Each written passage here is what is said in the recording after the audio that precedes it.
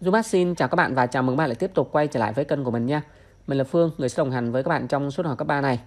Trong chuyên mục luyện thi đại học ngày hôm nay, mình lại tiếp tục với cái học phần ứng dụng của đạo hàm, dạng toán tìm n để hàm số bậc 3 luôn đồng biến hoặc là nghịch biến trên một cái khoảng AB xác định cho trước. Và trong video phần 1 mình đã chia sẻ cho các bạn cái trường hợp thứ nhất, đó chính là trường hợp mà phương trình y phép bằng 0 có delta là một số chính phương.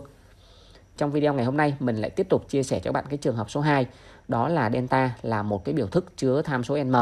Tuy nhiên mình vẫn đánh giá được cái dấu của delta để từ đó suy ra được số nghiệm của phương trình.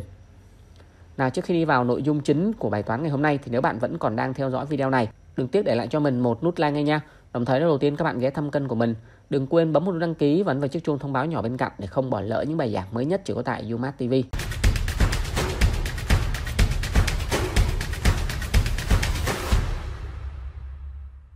Cũng như ở trường hợp thứ nhất, trường hợp thứ hai này mình sẽ hướng dẫn cho các bạn thông qua một cái bài tập như sau. Có bao nhiêu giá trị nguyên n để hàm số y bằng x mũ 3 cộng cho n trừ 1 x bình phương trừ cho 2m bình cộng 3m cộng 2 tất cả nhân x đồng biến trên khoảng từ 2 tới dương vô cùng. Đáp án A là 2, đáp án B là 3, đáp án C là 4 và đáp án D là vô số. Như vậy cái thủ tục đầu tiên đó là các bạn đi tính cái y phép cho mình y phép chính là bằng 3x bình phương cộng cho 2 nhân m trừ 1 nhân cho x, trừ cho 2m bình cộng 3m cộng 2 và các bạn thấy rõ ràng là đối với trường hợp này, chúng ta không thể độc lập được n m. Vì vậy mà chúng ta chỉ có thể giải quyết bài này thông qua cái bảng biến thiên. Chúng ta sẽ đi tính cái delta phép của cái phương trình y phép bằng 0.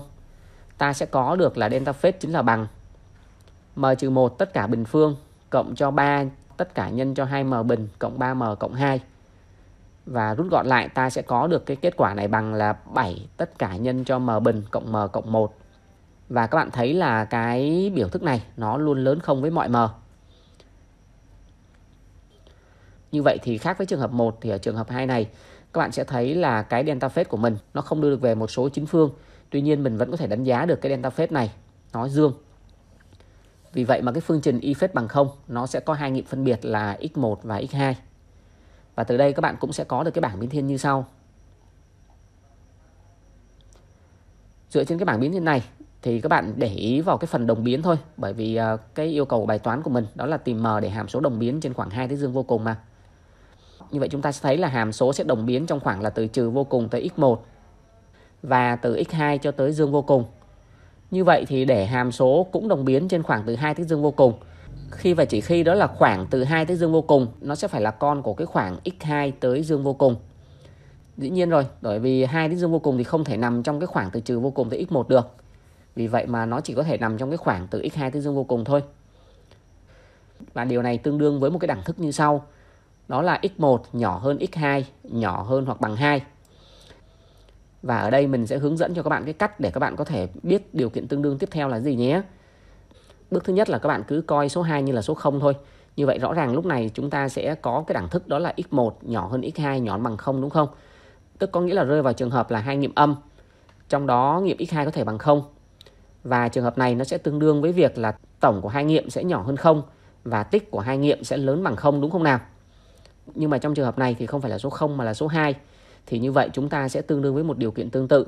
Đó là S2 nhỏ hơn 0 và P2 lớn bằng 0. Trong đó S2 thay vì là tổng x1 cộng x2 thì chính là tổng của x1 trừ 2 cộng cho x2 trừ 2. Tương tự tích P2 thay vì là x1 nhân x2 thì nó chính là bằng là tích của x1 trừ 2 nhân cho x2 trừ 2 lớn bằng 0. Từ đây chúng ta đưa về tổng tích. Ta sẽ có được cái điều tương đương, đó là x1 cộng x2 trừ 4 bé 0 và x1 nhân x2 trừ 2x1 cộng x2 cộng cho 4 lớn bằng 0. Đến đây thì các bạn thay VS vào. Các bạn để ý là x1, x2 là nghiệm của phương trình y phép bằng 0. Có nghĩa là x1 cộng x2 chính là bằng là trừ 2m cộng cho 2 trên cho 3. Còn à, x1 nhân x2 thì chính là bằng là trừ 2m bình trừ 3m trừ 2. Rồi như vậy chúng ta thay vào. Ta sẽ có được cái hệ bất phương trình tiếp tục tương đương. Trừ 2m cộng 2 tất cả trên cho 3 trừ cho 4 bé 0. Trừ 2m bình trừ 3m trừ 2 tất cả trên cho 3 trừ cho 2 nhân trừ 2m cộng 2 tất cả trên cho 3 cộng cho 4 lớn bằng 0. Chúng ta sẽ quy đồng và rút gọn. Ta sẽ có được cái hệ bất phương trình tiếp tục tương đương. Trừ 2m trừ 10 bén 0. trừ 2m bình cộng m cộng 6 lớn bằng 0. Hay tương đương là m lớn hơn trừ 5 và trừ 3 phần 2m bé hơn bằng m, bén bằng 2. Và các bạn à, rút gọn cái hệ bất phương trình này, ta sẽ tương đương được là trừ 3 phần 2 nhóm bằng m nhóm bằng 2.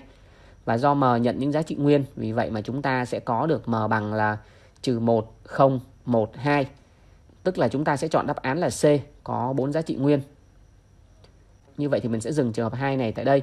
Và trong cái video tiếp theo mình lại tiếp tục chia sẻ cho các bạn một cái trường hợp thứ ba, đó là trường hợp mà delta cũng là một cái biểu thức chứa tham số n m và dĩ nhiên là delta cũng sẽ xấu và các bạn cũng không đánh giá được cái dấu của delta nó như thế nào. Thì rõ ràng đây là trường hợp mà mình nghĩ là nó khó nhất. Vậy nhé, trong quá trình mình giảng bài toán này thì nếu bạn chưa hiểu chỗ nào, đừng ngại để lại vài dòng bình luận bên dưới cho mình được biết. Mình kết thúc cái video này tại đây. Nếu các bạn thấy bài giảng này hay, đừng tiếc để lại cho mình một nút like ngay nha. Đồng thời đầu tiên các bạn ghé thăm kênh của mình Đừng quên bấm một nút đăng ký, và vào chiếc chuông thông báo nhỏ bên cạnh để không bỏ lỡ những bài giảng mới nhất chỉ có tại UMass TV. Mến chào và chúc bạn người học tập thật vui và thành công. Hẹn gặp lại các bạn trong bài giảng tiếp theo.